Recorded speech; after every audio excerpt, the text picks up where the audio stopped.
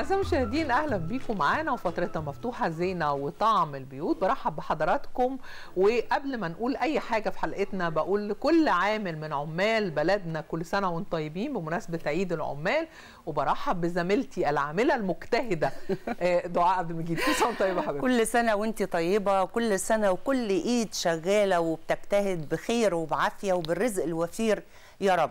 كل سنة وأنتم طيبين وإحنا سعداء ان إحنا نبدأ معاكم لقاء جديد وحلقة جديدة. وكعادتنا دايما بنبدأها بفقرة الأخبار وأول خبر دايما عند منى. خبر النهارده الأول من وزارة التموين وبدأ آه، صرف الدفعه التاسعه من الدعم الاستثنائي للأسر الأولى بالرعاية آه، على البطاقة من اليوم الاثنين.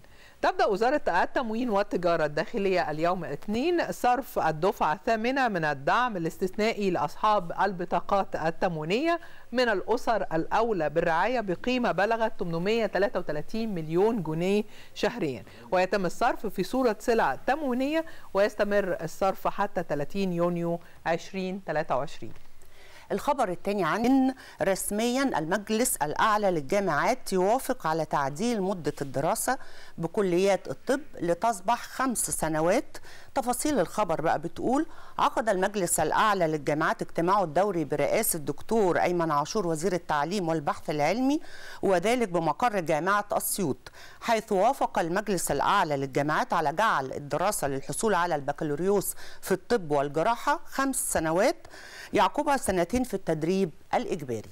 دي تفاصيل الخبر الثاني أما بالنسبة للقاءاتنا النهاردة معاكم على الهوا فأول لقاء هيكون مع منى. موضوع إيه يا منى؟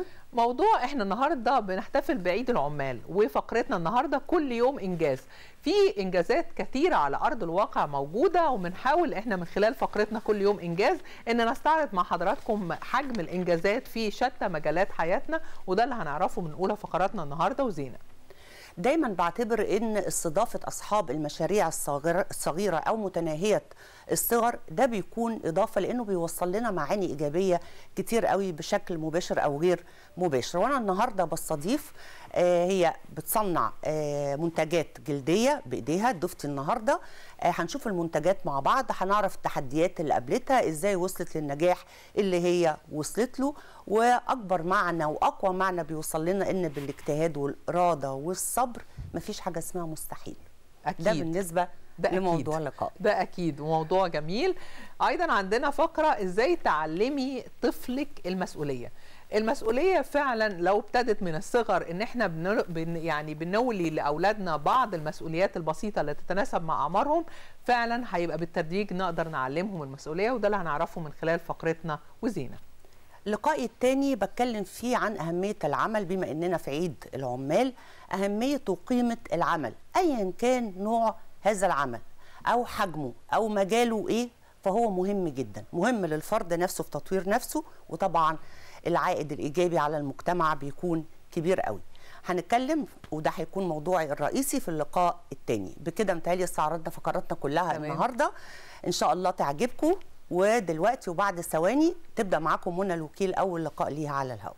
أعزائي المشاهدين بجدد تهنئتي لكل عامل مصري على أرض بلدنا لأن المشروعات القومية سواء في الماضي أو الحاضر بتقوم على العامل المصري النشط المتميز في شتى المجالات وكل سنة وكل عمالنا بخير وسعادة لأنهم هم اللبنة الأساسية لبناء مصر كلنا بنحلم بيها.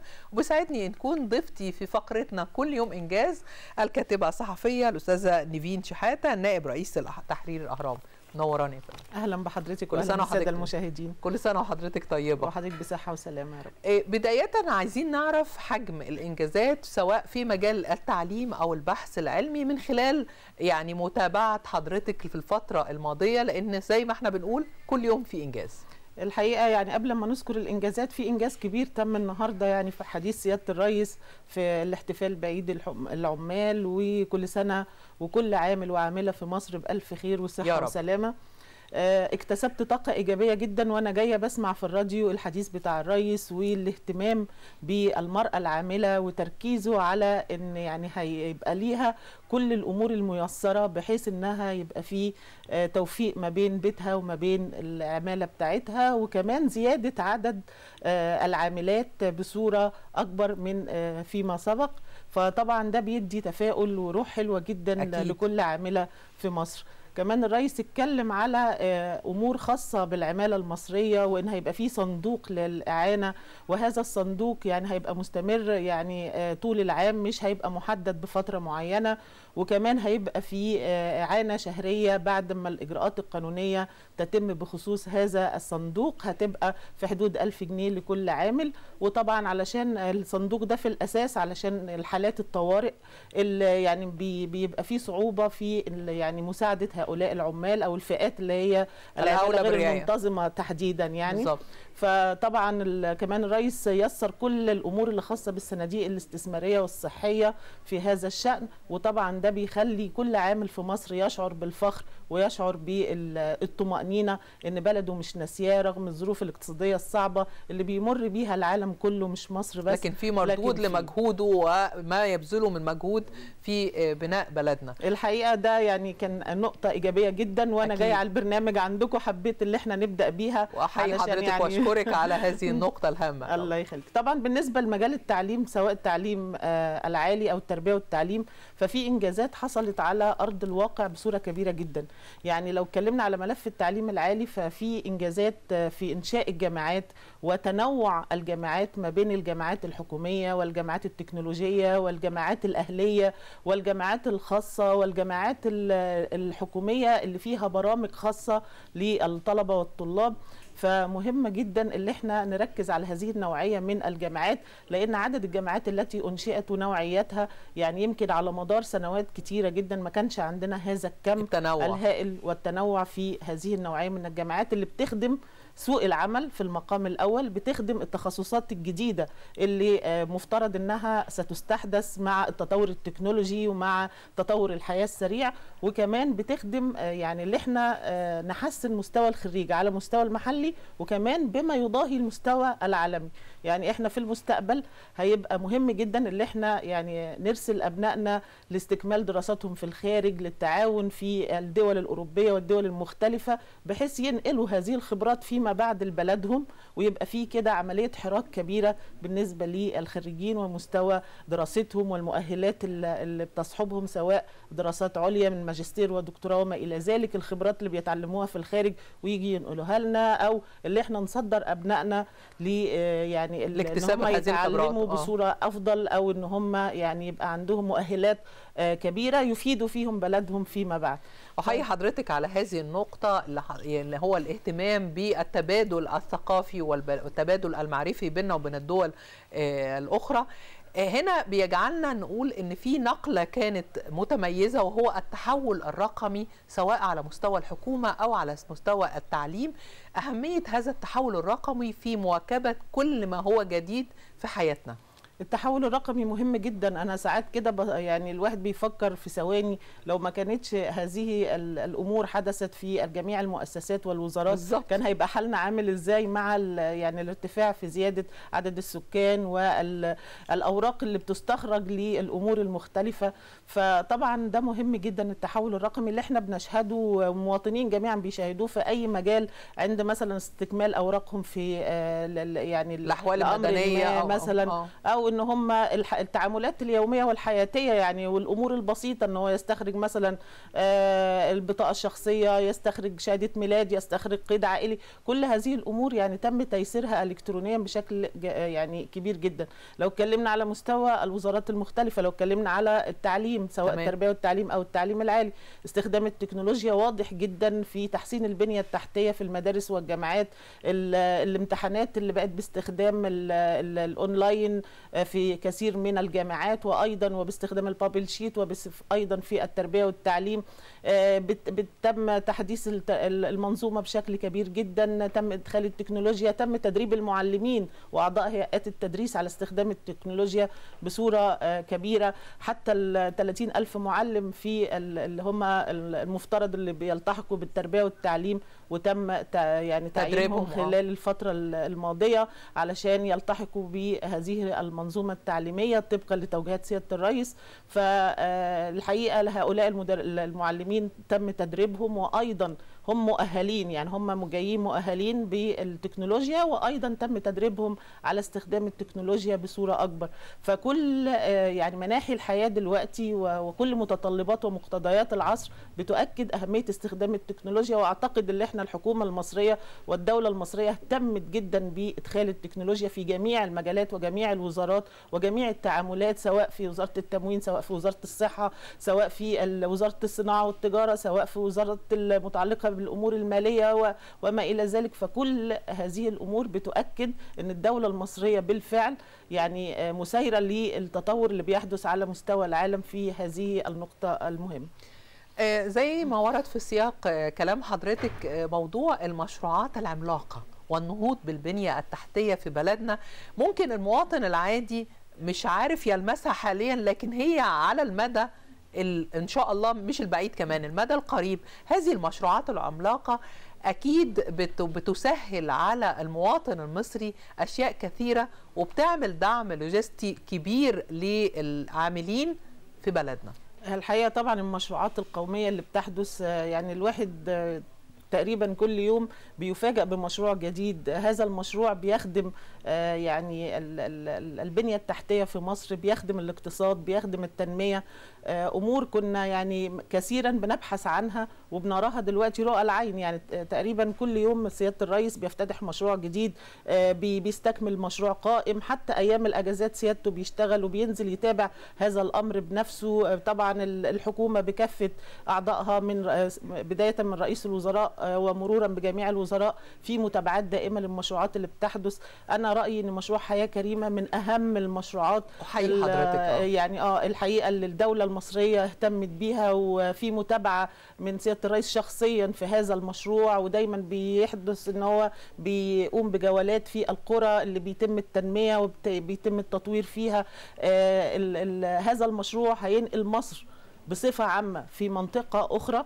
وسينقل الريف المصري والقرى المصرية اللي كان فيها كثير من القرى وكثير من النجوع كانت مهملة إهمال كثير جدا وكانوا بيشعروا كانت بعيدة عن مرأى العين وأصبحت دلوقتي في بؤرة الاهتمام. بالظبط كده وبيشعروا دايما بالإهمال لكن دلوقتي لأ ده في مشروعات راحت لحد باب بيتهم غيرت لهم شكل حياتهم مستوى الخدمات نوعية المدارس نوعية ال ال ال الأمور اللي بتسهل لهم يعني أمور حياتهم من الانتقال من مكان كان مثلا من قرية إلى قرية أو من القرية إلى المدينة عشان يستكملوا أوراقهم في في شيء ما متعلق بالتعليم متعلق بالصحة. يعني الحقيقة الواحد بيستوقف عند هذا المشروع ويرفع القبعة لسيادة الرئيس وللدولة المصرية لاهتمامها بهذا المشروع الضخم الكبير اللي هو مهما يعني كلف من فلوس لكن لا يجازي ابدا حجم الخدمات التي تقدم لأهالينا في القرى والنجوع وفي المحافظات المختلفة.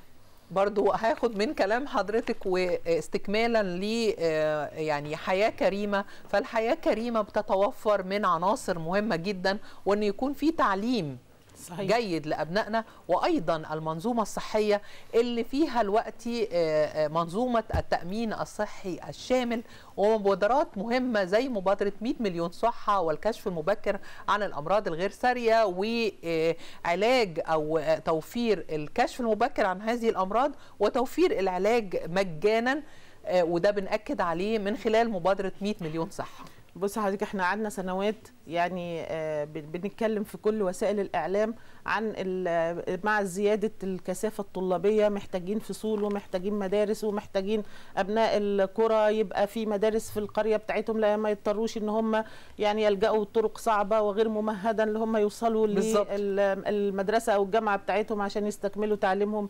فإحنا لما نشوف مشروع بيوفر ده لكل قرية لكل يعني نجعل لكل مكان بيوفر بناء مدارس جديدة بيوفر وحدات صحية جديدة آه، بيوفر أيضا جميع الخدمات اللي بيحتاجوها آه، على مستوى المبادرات الصحية الأخيرة اهتماما بالمبادرة الرئاسية لل- للصحة والخاصة مليون بالمرأة صحة. 100 مليون صحة واللي خاصة بال- بالمرأة والكشف المبكر ال- اللي بتصيب المرأة وأيضا المتعلقة بالفتيات من خلال مشروع تنمية الأسرة والكشف على متعلقة الفتيات بأبنائنا زي. التقزم والسمنة ودي كلها حاجات دي آه. مبادرات بالتعاون مع وزارة التربية والتعليم للكشف المبكر على الطلاب ال- أو التلاميذ الصغار وهذه الأمور اللي يعني بتسبب أزمات صحية للطالب فيما بعد ممكن يعني آه، علاجها بيبقى مكلف جدا. فإحنا من البداية بنشوف إيه ال- العرض أو إيه المرض أو إيه اللي بيسبب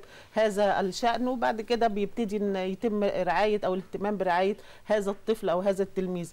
آه، طبعا في برضو في إطار هذا المشروع مشروع التغذية المدرسية والإهتمام بيها بصورة كبيرة جدا والتحسين فيها بصورة دائمة ال- يعني ضمان توزيعها وضمان حفظها الأمور اللي كانت بتسبب مشاكل كثيرة آه، فيما سبق لأبنائنا في المدارس. ففي أمور يعني مبادرات صحية وفي اهتمام بالطالب. الصحي مظلة التأمين طبعاً. الصحي الشامل اللي هي كمان هتبقى من ضمن أبوابها العمالة اللي هي بتبقى مؤقتة أو غير منتظمة. يعني آه، يتم الاهتمام بتبقى منظومة متكاملة لكل العاملين في بلدنا.